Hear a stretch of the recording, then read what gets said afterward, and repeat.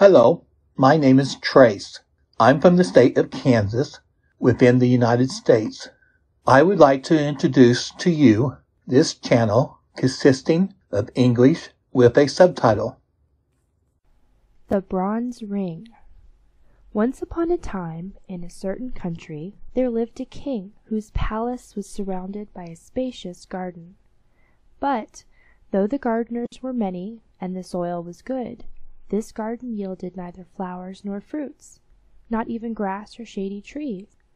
The king was in a despair about it, when a wise old man said to him, Your gardeners do not understand their business. But what can you expect of men whose fathers were cobblers and carpenters? How should they have learned to cultivate your garden? You are quite right, cried the king. Therefore, continued the old man, you should send for a gardener whose father and grandfather have been gardeners before him, and very soon your garden will be full of green grass and gay flowers, and you will enjoy its delicious fruit. So the king sent messengers to every town, village, and hamlet in his dominions, to look for a gardener whose forefathers had been gardeners also, and after forty days one was found. "Come with us and be gardener to the king," they said to him. "How can I go to the king?" said the gardener, "a poor wretch like me." "This is of no consequence," they answered. "Here are new clothes for you and your family." "But I owe money to several people." "We will pay your debts," they said. So the gardener allowed himself to be persuaded, and went away with the messengers, taking his wife and his son with him, and the king delighted to have found a real gardener, entrusted him with the care of his garden. The man found no difficulty in making the royal garden produce flowers and fruit, and at the end of a year the park was not like the same place, and the king showered gifts upon his new servant. The gardener, as you have already heard, had a son, who was a very handsome young man, with most agreeable manners, and every day he carried the best fruit of the garden to the king, and all the prettiest flowers to his daughter. Now this princess was wonderfully pretty, and was just sixteen years old, and the king was beginning to think it was time that she should be married. "My dear child," said he, "you are of an age to take a husband, therefore I am thinking of marrying you to the son of my prime minister."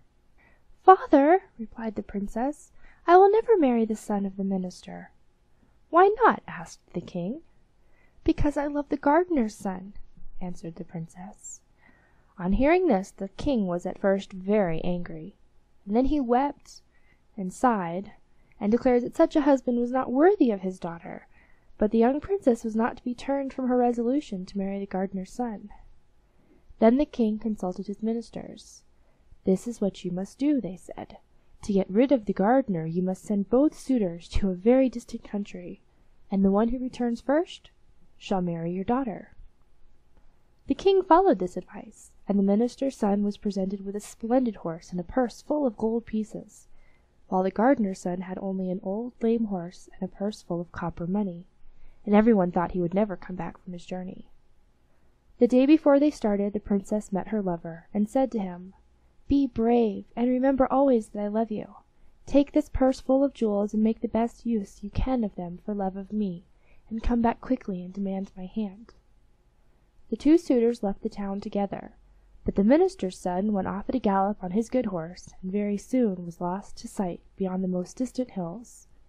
He travelled on for some days, and presently reached a fountain beside which an old woman all in rags sat upon a stone. "Good day to you, young traveller," said she. But the minister's son made no reply. "Have pity upon me, traveller," she said again. "I am dying of hunger as you see, and three days have I been here, and no one has given me anything."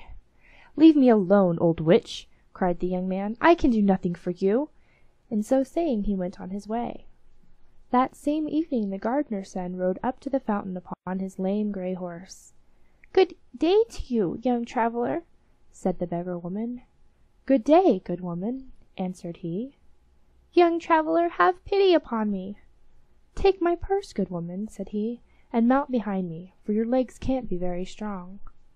The old woman didn't wait to be asked twice, but mounted behind him, and in this style they reached the chief city of a powerful kingdom. The minister's son was lodged in a grand inn. The gardener's son and the old woman dismounted at the inn for beggars. The next day the gardener's son heard a great noise in the street, and the king's heralds passed, blowing all kinds of instruments, and crying, The king our master is old and infirm. We will give a great reward to whoever will cure him, and give him back the strength of his youth. Then the old beggar woman said to her benefactor, This is what you must do to obtain the reward which the king promises. Go out of the town by the south gate, and there you will find three little dogs of different colors. The first will be white, the second black, the third red. You must kill them and then burn them separately, and gather up the ashes. Put the ashes of each dog into a bag of its own color. Then go before the door of the palace and cry out, A celebrated physician has come from Janina in Albania. He alone can cure the king and give him back the strength of his youth. The king's physicians will say, This is an impostor, and not a learned man and they will make all sorts of difficulties, but you will overcome them all at last, and will present yourself before the sick king. You must then demand as much wood as three mules can carry, and a great cauldron, and must shut yourself in a room with the sultan, and when the cauldron boils you must throw him into it, and there leave him until his flesh is completely separated from his bones. Then arrange the bones in their proper places, and throw over them the ashes of the three bags. The king will come back to life and will be just as he was when he was twenty years old. For your reward you must demand the bronze ring which has the power to grant you everything you desire. Go, my son, and do not forget any of my instructions." The young man followed the old beggar woman's directions. On going out of the town he found the white, red, and black dogs, and killed and burnt them, gathering the ashes in three bags. Then he ran to the palace and cried, A celebrated physician has just come from Janina in Albania. He alone can cure the king and give him back the strength of his youth. The king's physicians at first laughed at the unknown wayfarer, but the sultan ordered that the stranger should be admitted. They brought the cauldron and the loads of wood, and very soon the king was boiling away. Toward midday the gardener's son arranged the bones in their places, and he had hardly scattered the ashes over them before the old king revived to find himself once more young and hearty. "How can I reward you, my benefactor?" he cried. "Will you take half my treasures?" "No," said the gardener's son. "My daughter's hand?" "No." "Take half my kingdom?" "No. Give me only the bronze ring which can instantly grant me anything I wish for." "Alas!" cried the king, "I set great store by that marvellous ring. Nevertheless, you shall have it." And he gave it to him. The gardener's son went back to say good bye to the old beggar woman. Then he said to the bronze ring, "Prepare a splendid ship in which I may continue my journey. Let the hull be of fine gold, the masts of silver, the sails of brocade. Let the crew consist of twelve young men of noble appearance, dressed like kings. St. Nicholas will be at the helm. As to the cargo, let it be diamonds, rubies, emeralds, and carbuncles. And immediately a ship appeared upon the sea which resembled in every particular the description given by the gardener's son, and, stepping on board, he continued his journey. Presently he arrived at a great town and established himself in a wonderful palace. After several days he met his rival, the minister's son, who had spent all his money and was reduced to the disagreeable employment of a carrier of dust and rubbish. The gardener's son said to him what is your name? What is your family? And from what country do you come?" "I am the son of the prime minister of a great nation, and yet see what a degrading occupation I am reduced to."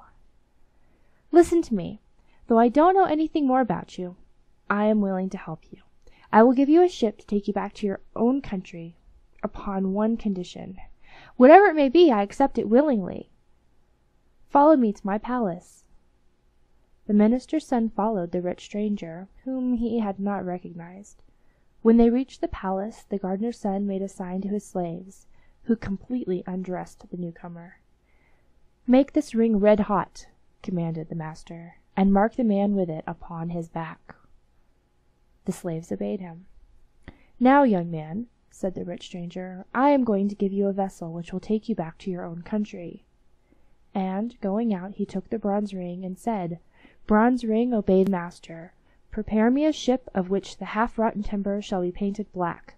Let the sails be in rags, and the sailors infirm and sickly. One shall have lost a leg, another an arm, the third shall be a hunchback, another lame, or club footed, or blind, and most of them shall be ugly and covered with scars. Go, and let my orders be executed." The minister's son embarked in this old vessel, and, thanks to favorable winds, at length reached his own country. In spite of the pitiable condition in which he returned, they received him joyfully. "I am the first to come back," said he to the king. "Now fulfil your promise and give me the princess in marriage." So they at once began to prepare for the wedding festivities. As to the poor princess, she was sorrowful and angry enough about it. The next morning, at daybreak a wonderful ship with every sail set came to anchor before the town. The king happened at that moment to be in the palace window. "What strange ship is this," he cried, "that has a golden hull, silver masts, and silken sails? And who are the young men like princes who man it? And do I not see St. Nicholas at the helm? Go at once and invite the captain of the ship to come to the palace." His servants obeyed him, and very soon in came an enchantingly handsome young prince, dressed in rich silk ornamented with pearls and diamonds. "Young man," said the king, "you are welcome, whoever you may be. Do me the favor to be my guest as long as you remain in my capital." "Many thanks, sire," replied the captain. "I accept your offer." Soon after came the princess and her betrothed.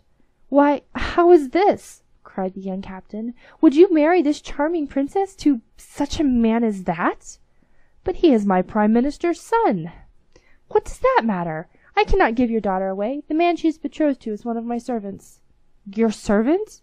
"Without doubt. I met him in a distant town reduced to carrying away dust and rubbish from the houses. I had pity on him and engaged him as one of my servants." "It is impossible!" cried the king. "Do you wish me to prove what I say? This young man returned in a vessel which I fitted out for him, an unseaworthy ship with a black battered hull, and the sailors were infirm and crippled. "It is quite true," said the king. "It is false!" cried the minister's son. "I do not know this man." "Sire," said the young captain, "order your daughter's betrothed to be stripped, and see if the mark of my ring is not branded upon his back." The king was about to give this order, when the minister's son, to save himself from such an indignity, admitted that the story was true. "And now, sire," said the young captain, "do you not recognize me?" "I recognize you," said the princess. "You are the gardener's son whom I have always loved, and it is you I wish to marry." "Young man, you shall be my son in law!" cried the king. "The marriage festivities are already begun, so you shall marry my daughter this very day." And so that very day the gardener's son married the beautiful princess. Several months passed. The young couple were as happy as the day was long and the king was more and more pleased with himself for having secured such a son in law. But presently the captain of the golden ship found it necessary to take a long voyage, and after embracing his wife tenderly, he embarked. Now in the outskirts of the capital there lived an old man who had spent his life in studying black arts, alchemy, astrology, magic, and enchantment. This man found out that the gardener's son had only succeeded in marrying the princess by the help of the genie who obeyed the bronze ring. "I will have that ring," said he to himself. So he went down to the seashore and caught some little red fishes. Really, they were quite wonderfully pretty. Then he came back and passed before the princess's window, and he began to cry out, "Who wants some pretty little red fishes?" The princess heard him and sent out one of her slaves, who said to the old peddler, "What will you take for your fish?" "A bronze ring." "A bronze ring, old simpleton! And where shall I find one?" "Under the cushion in the princess's room." The slave went back to her mistress. "The old madman will take neither gold nor silver," said she. "What does he want, then?" "A bronze ring that is hidden under a cushion." "Find the ring and give it to him," said the princess. And at last the slave found the bronze ring, which the captain of the golden ship had accidentally left behind and carried it to the man who made off with it instantly. Hardly had he reached his own house when, Taking the ring, he said, "Bronze ring, obey the master. I desire that the golden ship shall turn to black wood, and the crew to hideous negroes; that St. Nicholas shall leave the helm, and that the only cargo shall be black cats." And the genie of the bronze ring obeyed him. Finding himself upon the sea in this miserable condition, the young captain understood that some one must have stolen the bronze ring from him, and he lamented his misfortune mildly. But that did him no good. "Alas!" he said to himself, "whoever has taken my ring has probably taken my dear wife also. What good will it do me to go back to my own country?" And he sailed about from island to island and from shore to shore, believing that wherever he went everybody was laughing at him, and very soon his poverty was so great that he and his crew and the poor black cats had nothing to eat but herbs and roots. After wandering about a long time he reached an island inhabited by mice. The captain landed upon the shore and began to explore the country. There were mice everywhere, and nothing but mice. Some of the black cats had followed him, and, not having been fed for several days, they were fearfully hungry, and made terrible havoc among the mice. Then the queen of the mice held a council. "These cats will eat every one of us," she said, "if the captain of the ship does not shut the ferocious animals up. Let us send a deputation to him of the bravest among us. Several mice offered themselves for this mission, and set out to find the young captain. "Captain," said they, "go away quickly from our island, or we shall perish, every mouse of us." "Willingly," replied the young captain, "upon one condition. That is that you shall first bring me back a bronze ring, which some clever magician has stolen from me. If you do not do this, I will land all my cats upon your island, and you shall be exterminated." The mice withdrew in great dismay.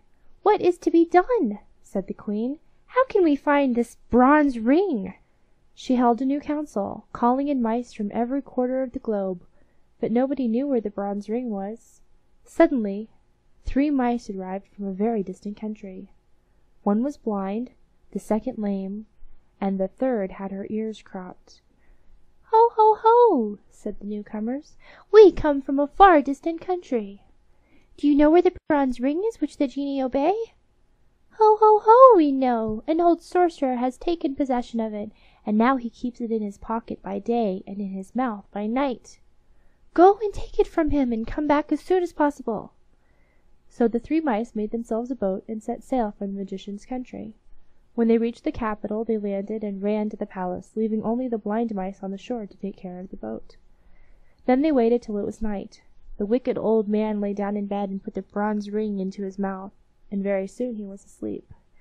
"Now what shall we do?" said the two little animals to each other. The mouse with the cropped ears found a lamp full of oil and a bottle full of pepper. So she dipped her tail first in the oil and then in the pepper, and held it to the sorcerer's nose. Sneezed the old man but he did not wake, and the shock made the bronze ring jump out of his mouth. Quick as thought the lame mouse snatched up the precious talisman and carried it off to the boat. Imagine the despair of the magician when he awoke and the bronze ring was nowhere to be found. But by that time our three mice had set sail with their prize. A favoring breeze was carrying them toward the island where the queen of the mice was awaiting them. Naturally they began to talk about the bronze ring. "Which of us deserves the most credit?" they cried all at once. "I do," said the blind mouse, "for without my watchfulness our boat would have drifted away to the open sea." "No, indeed!" cried the mouse with the cropped ears. "The credit is mine. Did I not cause the ring to jump out of the man's mouth?" "No, it is mine!" cried the lame one, "for I ran off with the ring." And from high words they soon came to blows, and alas! When the quarrel was fiercest the bronze ring fell into the sea. "How are we to face our queen?" said the three mice, "when by our folly we have lost the talisman and condemned our people to be utterly exterminated? We cannot go back to our country. Let us land on this desert island and there end our miserable lives." No sooner said than done. The boat reached the island, and the mice landed. The blind mouse was speedily deserted by her two sisters, who went off to hunt flies, and as she wandered sadly along the shore she found a dead fish, and was eating it when she felt something very hard. At her cries the other two mice ran up. "It is the bronze ring! It is the talisman!" they cried joyfully, and, getting into their boat again, they soon reached the Mouse Island.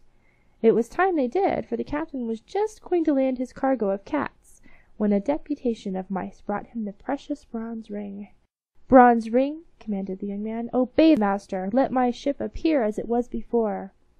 Immediately the genie of the ring set to work, and the old black vessel became once more the wonderful golden ship with sails of brocade. The handsome sailors ran to the silver masts and the silken ropes, and very soon they set sail for the capital. Ah, how merrily the sailors sang as they flew over the glassy sea! At last the port was reached. The captain landed and ran to the palace, where he found the wicked old man asleep.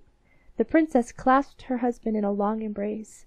The magician tried to escape, but he was seized and bound with strong cords. The End.